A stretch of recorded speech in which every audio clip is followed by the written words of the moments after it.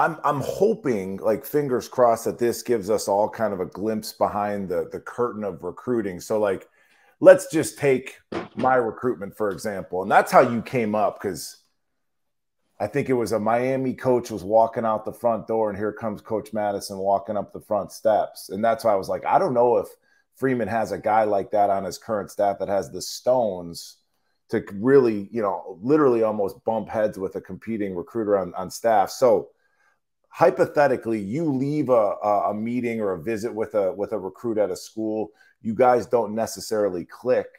Do you go back to the staff and then try another coach that might have a better vibe?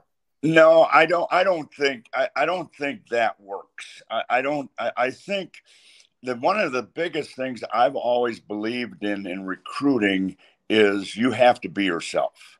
Okay. If you're a salesman, if you are a salesman going into a home in football on the guys that you want and the guys that you need to win championships with, you will not win. You will not be successful because if you're a salesman and that kid buys, then he isn't what you really want on third and one. You know, hmm. you want the guy that you hit with right away. You, he's got the character. You see the mom or the mom and dad, or you know, uh, like I always remember. I remember recruiting Justin Tuck in the middle of Alabama. I go to his home I'm sitting in a home visit now. It's Auburn and Alabama all the way on him. I go into his home, and in five minutes later, his grandma and grandpa are in the home. They lived right next door. Five minutes later, from then, his sisters were in the home. And I'm sitting in this home in the middle of the country talking to, to Justin Tuck, and there's like eight people sitting around the room. And I'm going, I'm saying to myself, I got a chance at this kid. This kid is looking for Notre Dame at that time. He, he was a great football player, a great basketball player. And, uh, you know, I, I, can, I can remember the next day staying there and going to the high school and him wanting me to introduce me to his teachers. And every teacher said, I don't care it, like one teacher would say, I don't care if he goes to Notre Dame, but don't let him go to Alabama. The next teacher said, I don't care if he goes to Notre Dame, but don't let him go to Auburn. Hmm. So I'm going down the hall and I'm thinking, we've got a great chance at this guy. But there wasn't sales, it was the school that I was representing and what we needed at the time. And I think a player can always tell if a coach really needs you, you know, and, and I think that's big in recruiting.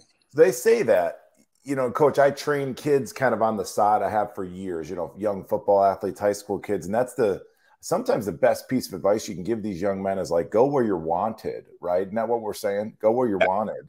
Not where um, you're sold, not where you're sold, go where you're wanted. I think the other thing, Mike, and, and you were a great example of that. Go where you fit go where you can tell that the coaching style is what you want.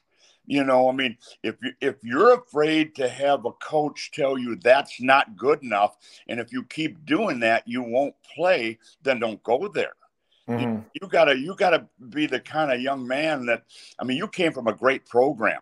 You came from where coaching was hard where you weren't i mean you you didn't come from a, a high school program where what you did was okay no matter what it was. Sure. That's the same way that i think i tried to instill that. That's the way it's going to be when we're at notre dame and that was good for you.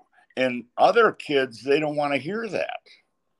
Interesting so i'm what i'm kind of hearing you say is it's going to take time for coach freeman and is at that time, does that mean he's going to have to really maybe hone his pitch? But we don't want to be a salesperson. It's like creating that perfect pitch, maybe finding the right type of kids while still being your authentic self as a as a recruiter, as a staff. Is that what we're saying?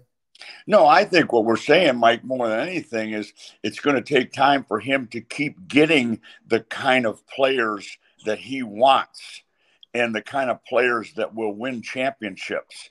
And as he does that, the way he coaches and the way his staff coaches, that all works together. You get the players, you coach the players, and then you win ball games.